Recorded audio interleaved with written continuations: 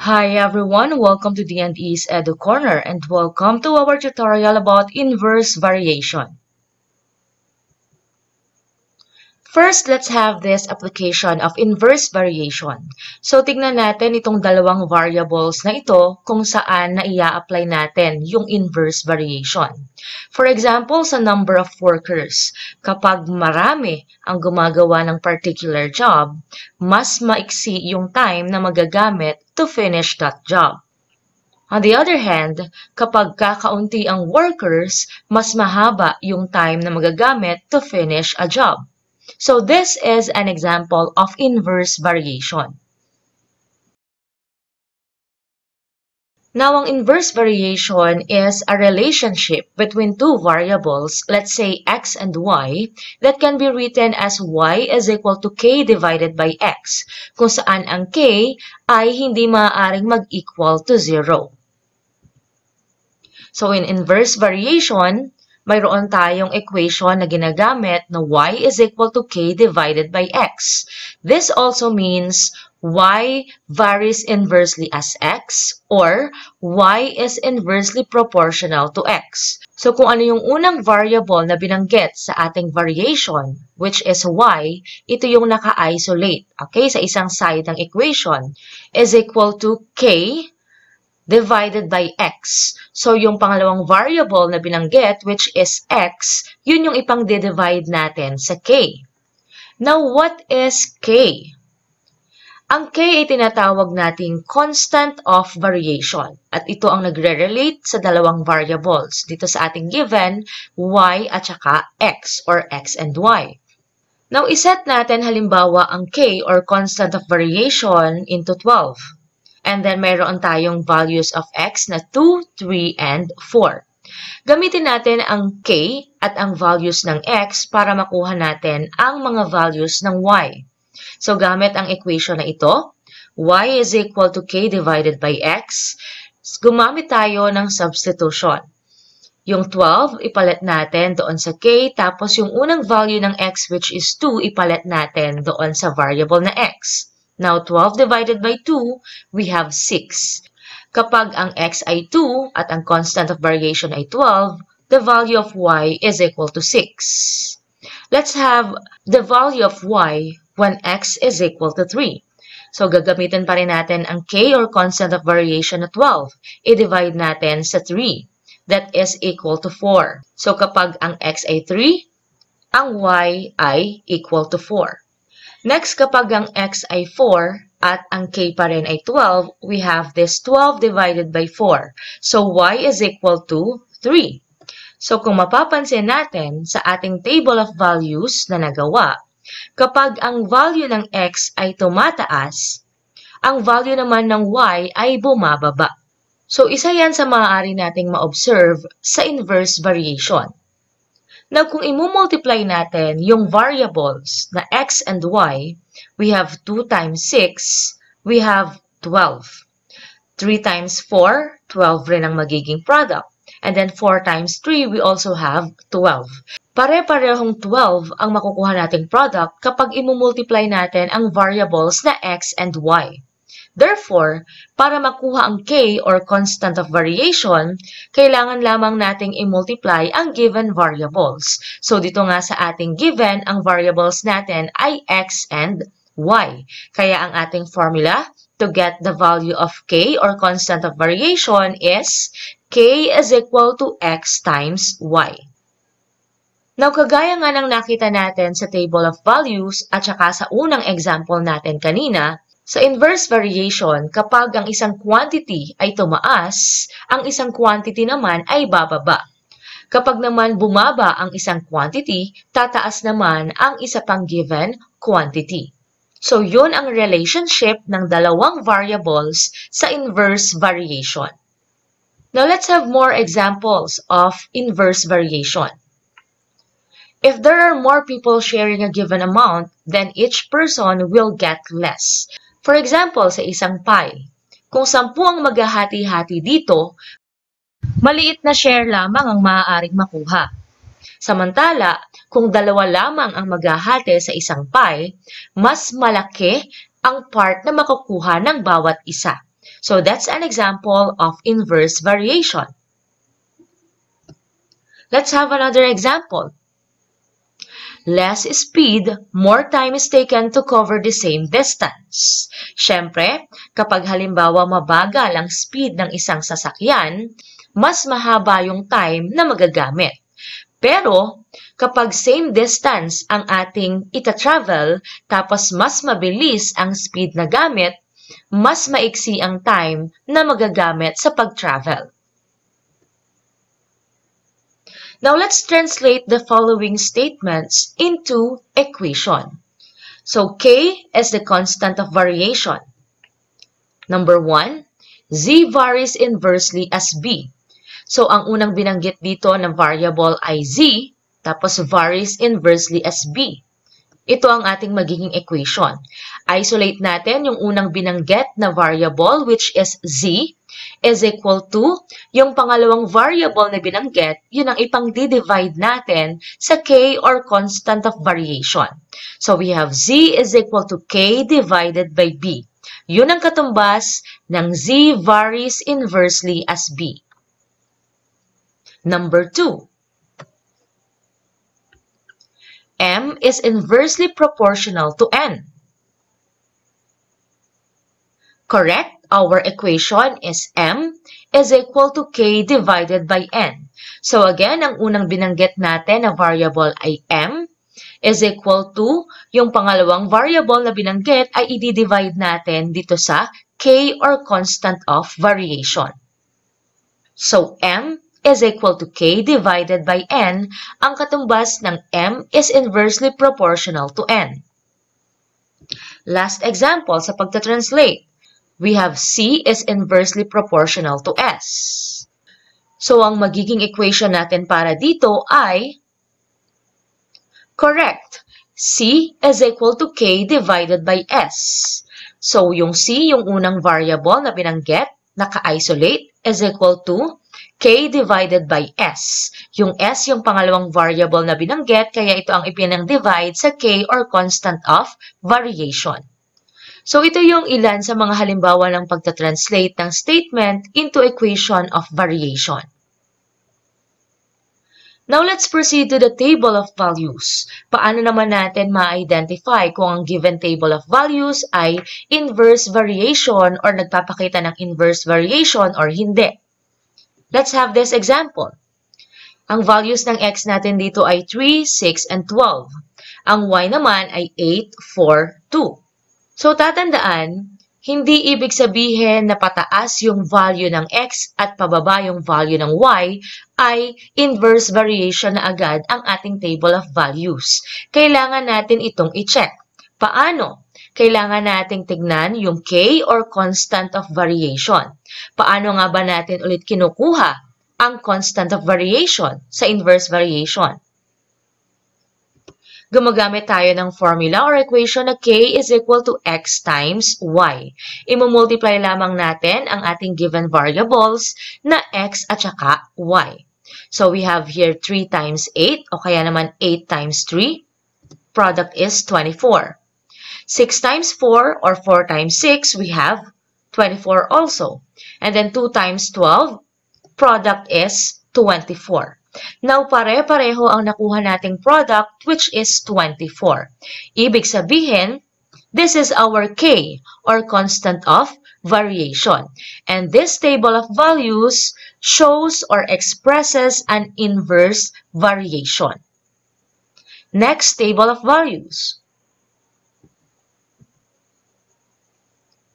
So this time, we have values of x na 3, 6, and 9. Tapos ang value naman ng y ay 8, 5, 3. Kung papansinin natin, sa variable na x, pataas ito at ang variable na y naman ay pababa. Pero, i-check pa rin natin ang k or constant of variation. Again, imumultiply lamang natin ang given variables, yung x at saka yung y. Now, 8 times 3, we have 24. 6 times 5, we have 30 as the product. And then 9 times 3, ang product ay 27. So kung mapapansin natin, hindi pare-pareho ang nakuha nating product. Therefore, this is not an inverse variation. So, yun yung steps na kailangan natin gawin upang malaman kung ang table of values ba ay inverse variation or hindi nagpapakita ng inverse variation. Kailangan lamang nating i-multiply ang dalawang variables at kailangan equal ang makukuha nating product. Now, paano naman tayo kukuha ng equation of variation gamit ang table of values? So, ang ating given is y varies inversely as x. Kaya ito ang ating magiging equation. y is equal to k divided by x. So, tandaan, yung unang variable na y is equal to k divided by x. Yung pangalawang variable na binanggit, yun ang ipang-divide sa k or constant of variation. Next, kailangan muna nating alamin kung ano yung k or constant of variation kailangan nating i-multiply ang mga variables na x at saka ang y. So, k is equal to x times y. Multiply lamang natin. 2 times 6, we have 12. 1 times 2, we also have 12. And 4 times 3, we have 12 also. So, pare-pareho naman ang ating nakuhang product. Therefore, our k or constant of variation is 12. Yang 12 na yan, maaari na nating ipalit sa ating equation of variation na y is equal to k divided by x. Yung k, palitan lamang natin ng 12. So, our equation mula dito sa table of values na ito ay y is equal to 12 divided by x. Now, let's proceed to the graph of inverse variation. Ang graph ng isang inverse variation ay tinatawag nating hyperbola.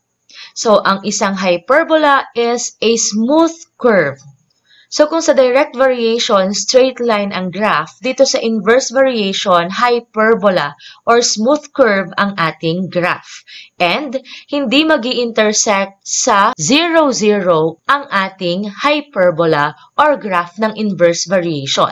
Hindi rin mag intersect sa x-axis o kaya naman sa y-axis ang graph ng inverse variation. So again, ang graph ng isang inverse variation ay hyperbola. Now let's try to solve the following involving inverse variation. Given that y varies inversely as x, find the constant of variation kung ang x ay 3 at ang y ay 7. So, ang una natin kailangan gawin is gumawa ng equation. So, mula dito, we have y varies inversely as x. So, ang magiging equation natin ay y is equal to k divided by x. So, ang k, yan ang ating constant of variation. So, ang hinahanap natin dito is yung k. So, ang gagawin natin is gumamit tayo ng substitution. Ito yung unang way para ma-solve ang problem na ito. Okay? Hinahanap natin yung k. Substitution.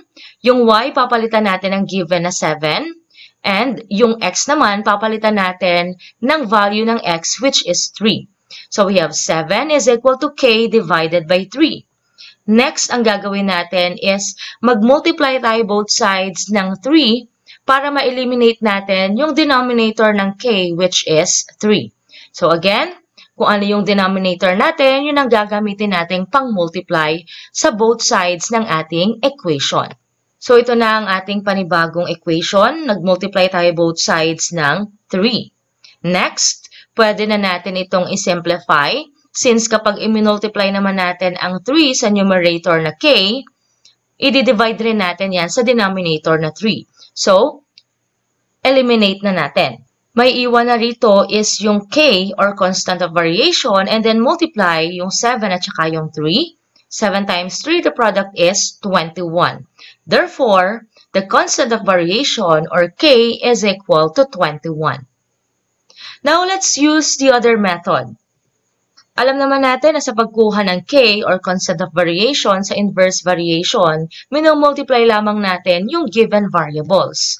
So, dito sa ating problem, ang given variables ay x at saka ang y. I-multiply lamang natin yan para makuha natin yung k or constant of variation. So, substitution, yung x palitan natin ng 3 na given, and then yung y palitan natin ng 7. Pwede rin namang baliktad, 7 times 3 or y times x.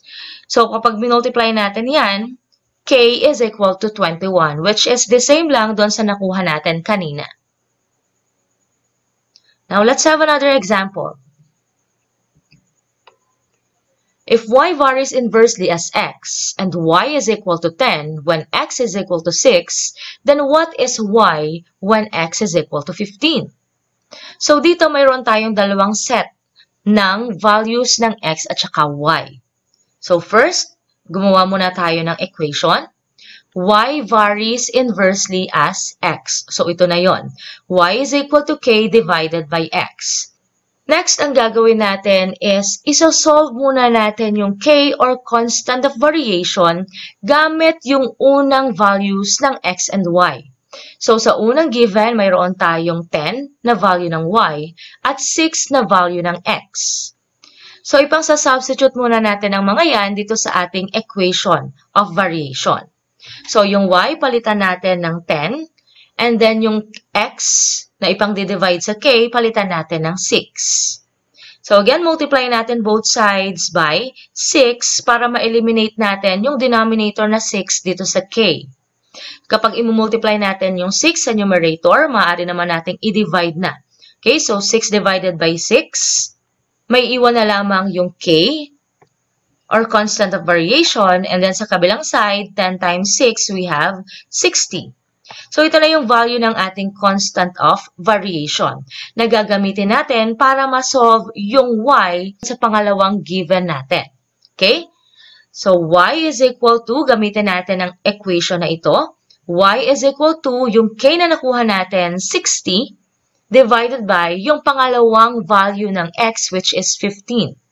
60 divided by 15, y is equal to 4. So, na-solve na natin ang ating problem. Ipakita naman natin yung pangalawang method.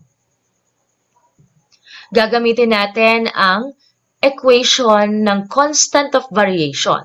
Since k is equal to x times y, and mayroon tayong dalawang values ng x and y, alam natin na pareho lang sila ng value ng k or constant of variation. So, kuhanin na natin yung x times y na ito. Gawin nating x sub 1 times y sub 1 is equal to x sub 2 times y sub 2. Again, since pareho sila ng value ng k or constant of variation, kinuha na lamang natin yung x times y. And ginawa nating x sub 1, y sub 1 para sa unang values ng x and y. And then x sub 2 times y sub 2 para sa pangalawang values ng x and y. Next, substitution. Sa unang set natin, ang value ng x ay positive 6. And then ang unang value ng y ay positive 10. Is equal to, yung pangalawang value ng x naman ay 15 times yung pangalawang value ng y ay nawawala pa or missing pa. Yun ang ating isosolve. Kaya y muna ang ating ilalagay dito. And then multiply lamang natin yung nasa kabilang side. 6 times 10, we have 60 is equal to 15 times y or 15y. Kailangan y lamang ang maiwan dito sa kabilang side. So mag-multiply tayo both sides ng 1 over 15 or mag-divide tayo both sides ng 15. So 15y divided by 15, this will be y. And then 60 divided by 15, this is equal to 4. Therefore, y is equal to 4. Same lang din sa nakuha natin kanina na value ng y which is 4. So, yun yung dalawang paraan para makuha natin yung missing variable dito sa ating given problem. That's it for our tutorial. Thank you so much for watching and we hope that you subscribe to our channel for more tutorials.